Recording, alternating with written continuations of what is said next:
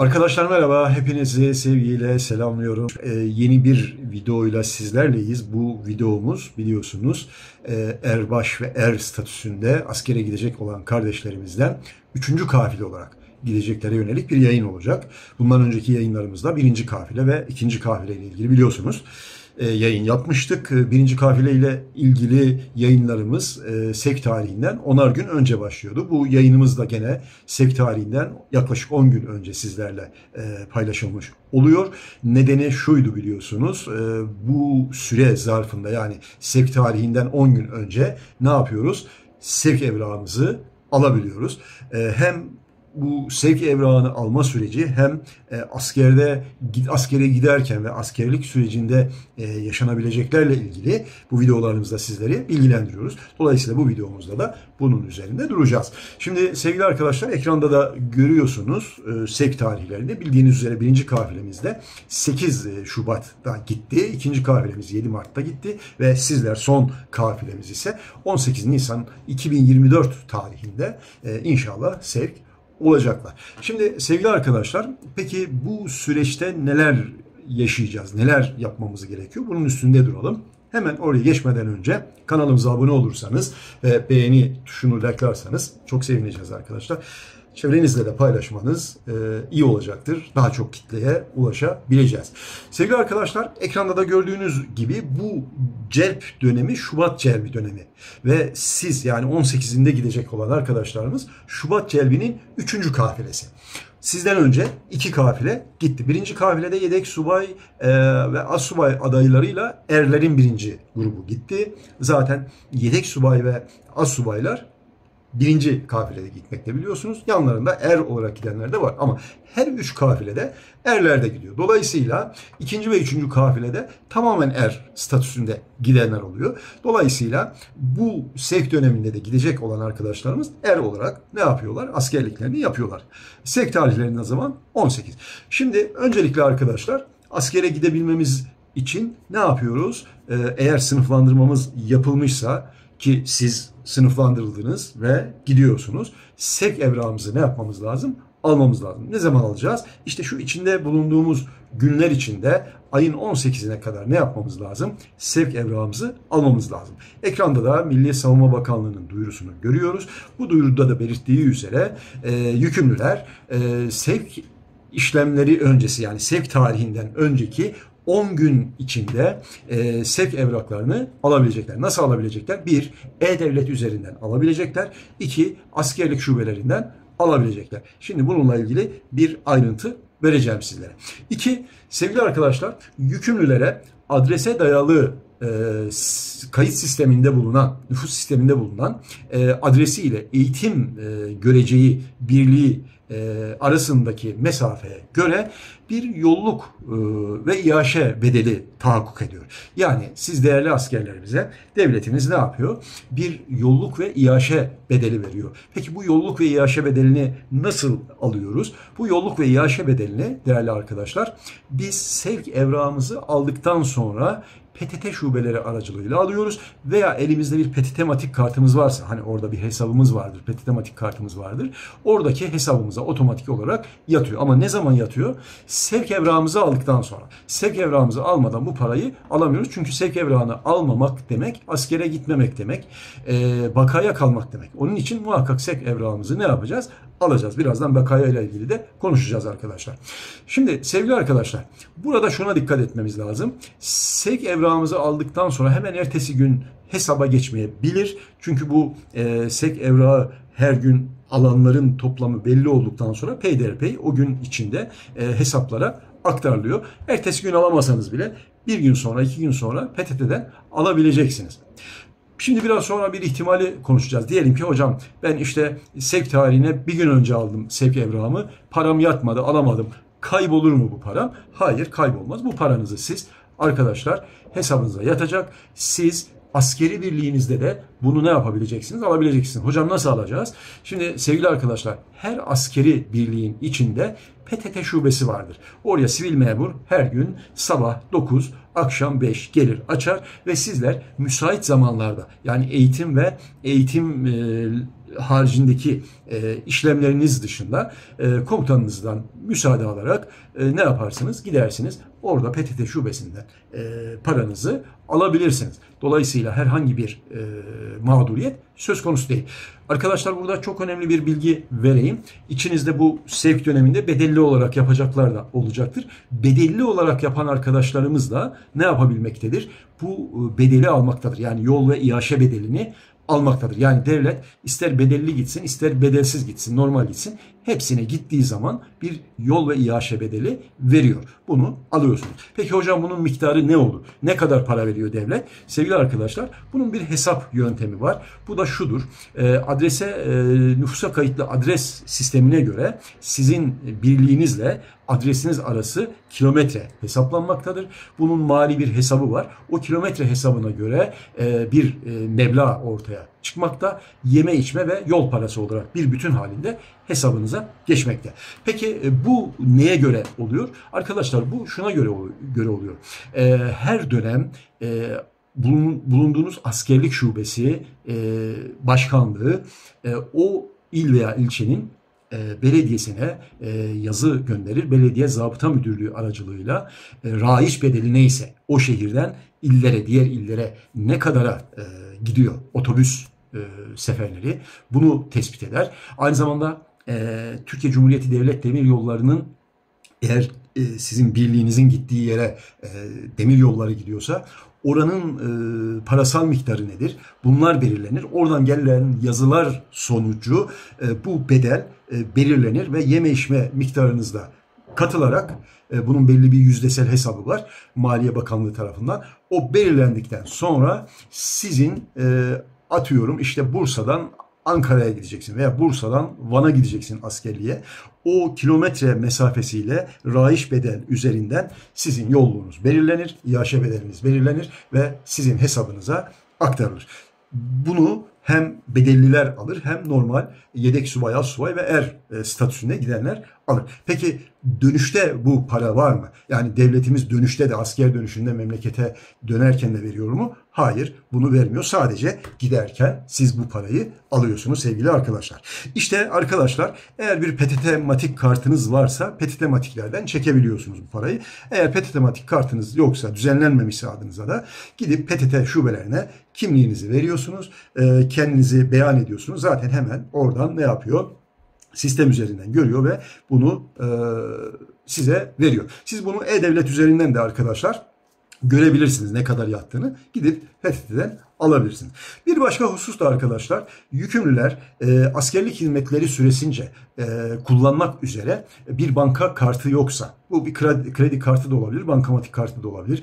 E, bu arada bazı bankaların biliyorsunuz birleşik yani kredi kartı, bankamatik kartı aynı kart içinde de olabiliyor. E, herhangi bir bankadan bir banka kartı çıkarabilirsiniz. E, bunu niye e, söylüyor e, Milli Savunma Bakanlığı duyuruda da belirtmiş. Çünkü arkadaşlar askerde yanımızda çok para bulundurmak, e, yüklü para bulundurmak uygun değil. E, her ihtimale karşı kaybolma riski vardır, düşme ihtimali vardır. E, bu ihtimallere karşı e, siz yanınızda e, az bir para e, sizi oraya götürebilecek. Orada belki 1-2 günlük, 2-3 e, günlük e, geçiminizi sağlayabilecek, ihtiyacınızı giderebilecek bir parayla gitmeniz uygun olur. Orada paraya ihtiyaç duyduğunuz zaman banka kartınızla, bankamatiklerden paranızı çekip kullanma imkanı sağlama adına Milli Savunma Bakanlığımız böyle bir e, yol göstermekte ve bunu e, emretmekte. Çünkü e, duyuruda böyle bir şey diyorsa bu bir emirdir aynı zamanda arkadaşlar. Siz zaten sevk e, olduğunuz zaman e, şu anda asker kişiliksiniz. Sevk evrağınızı aldığınız zaman zaten asker kişiliksin. Dolayısıyla bunların hepsi bir emirdir. Buna uymak durumundasın. Dolayısıyla orada e, olabilecek e, herhangi bir olumsuz ihtimale karşı Milli Savunma Bakanlığı size bir banka kartı edinmenizi istiyor. Sevgili arkadaşlar bunun yanında yükümlüler askerlik hizmeti süresince kullanmak üzere sivil hayatta kullandıkları cep telefon hatlarını da kullanabilecek. Yalnız burada şöyle bir durum var. Silah altına alınmadan önce yani sevk evrağınızı alıp birliğinize katılmadan önce siz yetkili GSM e, bayilerine gideceksiniz ve burada müracaat ederek diyeceksiniz ki ben bu hattımı kısıtlı hatta çevirmek istiyorum. Çünkü askere gidiyorum. O GSM bayisi sizin hattınızı kısıtlı hatta dönüştürecek. Tamam mı? Ve siz herhangi bir ücret vermeyeceksiniz. Yani orada evet biz bunu kısıtlı yaparız ama şu ücreti vereceksin derse ödemeyin. E, gerekirse şikayet edin. Çünkü bakın duyuruda da söylüyor bu bir emirdir aynı zamanda. Herhangi bir ücret ödemeden GSM bayisine gidiyorsunuz ve diyorsunuz ki ben hattımı kısıtlı hatta çevirmek istiyorum. Çünkü askere gidiyorum. Askerde o hattı ne yapabilirsiniz? Telefonunuzda kullanabilirsiniz. Tabi buradaki telefon akıllı telefon değil arkadaşlar. Biliyorsunuz askerde akıllı telefon kullanmıyoruz. Tuşlu telefon, kamerasız telefon kullanıyoruz. E, ama hattımızı kullanabiliyoruz. Peki hocam biz bunu yaptık. Asker dönüşü nasıl olacak? Hattımız kısıtlı bir sıkıntı. Asker dönüşü arkadaşlar tekrar GSM operatörünüze gidiyorsunuz ve GSM operatörünüze diyorsunuz ki ben askerden geldim. Kısıtlı olan hattımı normal hatta çevirin. Hemen o zaten bilgisayar üzerinden işleminizi gerçekleştiriyor ve normal hat olarak tekrar devam ediyorsun. Yani eskiden işte askersel vardı vesaire vesaire bir takım sıkıntılar vardı. Şimdi Milli Savunma Bakanlığı o sıkıntıyı da giderdi. Normal kendi hattını kullanabiliyorsun ama askere giderken onu kısıtlı hatta çevireceksin. Bak dikkat edin. Kısıtlı hatta çevireceksin. Yoksa orada kullanma e, imkanı olmayabilir. Çünkü bu bir emirdir aynı zamanda. E, ekranda da duyurularda görüyorsun.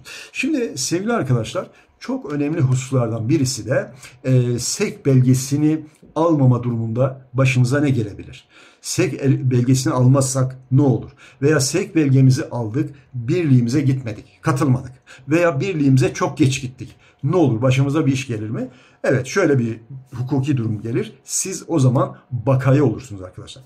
Ekranda duyuruda da görüyorsunuz arkadaşlar. Bakın diyor ki sevk belgesini almayanlar ile aldığı halde sevk edildiği sınıf okulu eğitim merkezine katılmayanlar. Bak birinci bu. Sevk evrağını almayan, aldığı halde de sevk edildiği birliğine katılmayanlar. Bunlar nedir? Bakayadır. Başka bakaya nedir? Hemen söyleyelim. Veya diyor sevk belgesini aldığı halde kendisine verilen yol süresi içinde birliğine katılmayan yani geç katılan, zamanında katılmayan.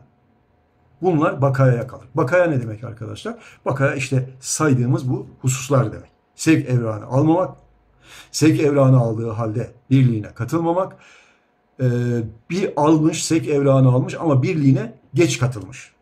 Süresi içinde katılmamış. Bunlara biz bakaya diyoruz. Bakaya ile ilgili yukarıda kartlarda sizler için birden 2-3 tane e, video hazırladık arkadaşlar. O videolarımıza bakarsınız ayrıntılı olarak. Bunların cezası nedir? Ne yapılır? Bunları da orada görebilirsiniz. Sevgili arkadaşlar şimdi burada önemli bir husus var. Bak bu maddeyi yaklaşık bu yıl eklediler. Yani sevk belgesini aldığı halde kendisine verilen yol izni süresince birliğine katılmamak. Bu zaten bakayaydı ama e, duyuruya son 2-3 e, e, birkaç ay önce ki sevklerde girdi. Dolayısıyla bunu biraz aşmamız lazım. Peki biz e, sevk tarihinden sonra ne zaman katılacağız birliğimize değil mi? Bu da çok önemli. Şimdi arkadaşlar şimdi 18 Nisan'da gidenler için konuşuyoruz. Diğerleri tabii ki gitti. Onlarla ilgili yayın yaptık. Şimdi 18 Nisan sizin sevk tarihiniz. Şimdi eğer arkadaşlar 800 kilometreye kadar bir mesafe ise e, birliğinizle ikametgah adresiniz arası 800 kilometreye kadar e, bir mesafe ise bir gün size yol izni veriyor. Bu ne demek? Yani siz 19 Nisan'da izinlisiniz, yoldasınız. Ne zaman teslim olacaksın? Birliğine ne zaman katılacaksın? Bir başka deyişle 20 Nisan tarihinde birliğine katılmak durumundasın. Gecikmeyeceksin. 20 Nisan tarihinde. Peki 800 kilometreden uzaksa mesafe değil mi? Mesela Bursa'dan Van'a gidecek değil mi? 800 kilometreden uzun mesafe. O zaman sevgili arkadaşlar 2 gün yol izniniz var. 800 kilometreden uzakta olan birliği. O zaman ne olacak? 18'inde yola çıkıyoruz. 19 ve 20'sinde yoldayız. Yol iznimiz var. 21 Nisan tarihinde biz birliğimize ne yapmış olacağız? Katılacağız. Anlaşılmıştır bu. O zaman 800 kilometreye kadar bir gün yol izni, 800 kilometrenin üstü iki gün yol izni kullanıyoruz. Peki sevgili arkadaşlar bu yol iznini hocam ben hesaplayamıyorum. Hesaplamak istemiyorum. Sevk evrağında yazar mı? Tabii ki. Arkadaşlar sevk evrağımızı çıkardıktan sonra sevk evrağımızda şu bilgiler yer alacak. Bir, e, sevk tarihimiz ve katılış tarihimiz. Yani birliğimize katılış tarihimiz. Kaç gün yol iznimiz oldu. Orada zaten son katılış diyecek. Son katılış tarihi dediği zaman o senin birliğine katılma günündür arkadaşlar. Tarihindir bunu unutmayacaksın. İki, yolluk bedeli. Yani yol ve iaşe bedeli. Biraz önce bahsettim ya. Ne kadar yol bedeli alacağız, yolluk alacağız, nasıl alacağız? O bedelde sevgili arkadaşlar bu e, sevk evrağınızda yer alacak. Peki başka ne alacak? E, yer alacak. SEK evrağında da muvazzaflık özelliğiniz yer alacak. Yani hangi statüde gidiyorsun? E, normal er misin, jandarma mısın, değil mi? Ondan sonra askerlik şubesinde mi görev yapacaksın vesaire vesaire komando musun mesela. Yani genel söylüyorum. Onlar orada ne olacak? E, muvazzaflık özelliğinde yazacak. Bunu sevk evrağından öğreneceğiz. Ama pratik olarak söylediğim gibi 800 kilometreye kadar bir 800 kilometreden uzaksa iki gün yol izni. Burada çok önemli bir hususu size söylemek istiyorum sevgili arkadaşlar. Şimdi burada e, yol mesafesinin yol izni iki kurala göre hesaplanıyor. Bunu unutmayın. Bir, eğer arkadaşlar e-devlet üzerinden alırsan, e-devlet üzerinden alırsan SEK evranı adrese dayalı sisteme göre ev adresinle birliğin arası hesaplanıyor. Tamam mı? Ama diyelim ki sen e, bilgisayarında bir sıkıntı oldu. Evden alamadın veya bilgisayardan alamadın. E-Devlet üzerinden çıktığını alamadın. Askerlik şubesinden alıyorsun. Veya diyelim bir yerde seyahattesin. 10 günlük süre var. Bir iş adamısın, iş çalışansın.